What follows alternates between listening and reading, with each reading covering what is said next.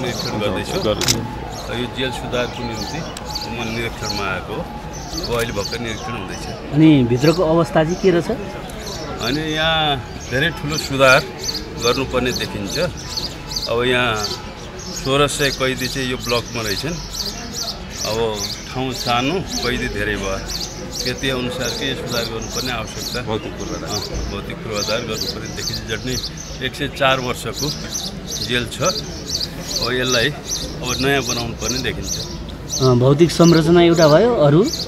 अरू यहाँ धेरै सुधार जेलभित्रको अहिले म यहाँ बुझ्दैछु। यहाँ के के गर्नुपर्छ यहाँका बन्दीहरूको सुधारको निम्ति। अब त्यो चाहिँ अब यहाँ अलिकति निरीक्षण गरिसकेपछि पत्ता लाग्ला। तिनवटा ब्लक हेरिसकेपछि फेरि कुरा। पछि त्यहाँ एउटा निश्चित अवधि त्यहाँ निश्चित गरिएको छ। चार वर्षभित्रमा चाहिँ भवनहरू निर्माण गर्ने भन्ने छ। अब त्यही सेरोफेरोमा चाहिँ यहाँका बन्दीहरूको स्थानान्तरण हुन्छ। अब हामीले एउटा ठोस कार्ययोजना जेल सुधारको निम्ति बनाउँदैछौँ। त्यो अब आउने चाहिँ तिन चार महिनामा त्यो देखिन्छ। विकास गर्नुपर्ने थुप्रै मुद्दाहरू छन् जो झुट्टा मुद्दा पनि छन् भन्ने कुरा आएको छ। तिनीहरूलाई पनि छिटो फैसला गर्ने बिरामीहरू छन्। बिरामी र बन्दीहरू एक ठाउँ गएर त्यसले थुप्रै समस्या पनि पैदा गरेको छ। त्यसलाई पनि सुधार गर्नुपर्ने।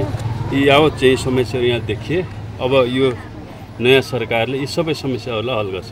जस्तै यहाँको स्थानान्तरणको लागि नुवाकोटमा पनि जेल बनिरहेको छ भन्ने सुनिन्छ। तर एकदम सुस्त गतिमा बनाएको कारण यहाँ पनि समस्या भइरहेको छ। त्यो कहिलेसम्म पूर्णता दिनुहुन्छ? अब त्यो चार वर्षको योजना लगभग चाहिँ अब त्यो अब त्यसमा हामी तीव्रता दिन्छौँ। र त्यो छिटै निर्माण भयो भने यहाँ जो समस्या छ। बन्दीहरूको ठुलो चाप।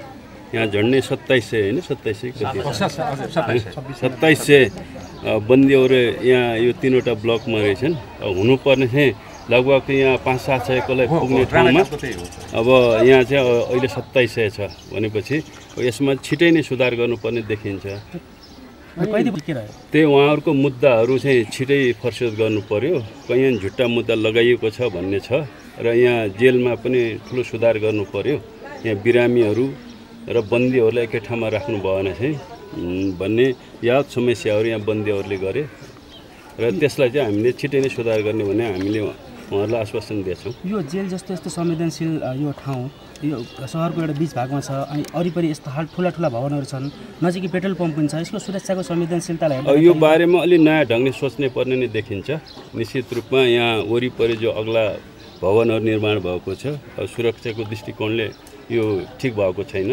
त्यस कारणले यो जेलकै बारेमा चाहिँ के गर्ने भन्ने बारेमा अब आगामी सरकारले सोध्छ। यो यो ठाउँ उपयुक्त हुन्छ कि हुन्न चाहिँ जेलको निम्ति भनेर अब हामी यसलाई अलि नयाँ ढङ्गले सोध्छौँ। अनि त्यो नुवाकोटमा नि?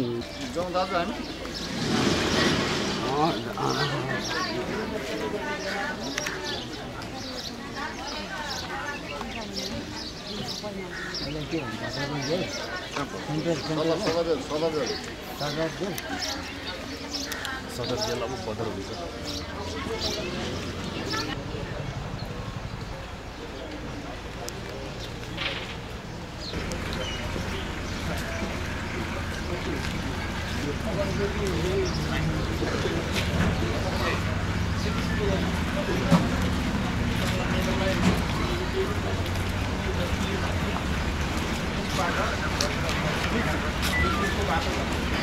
Thank you.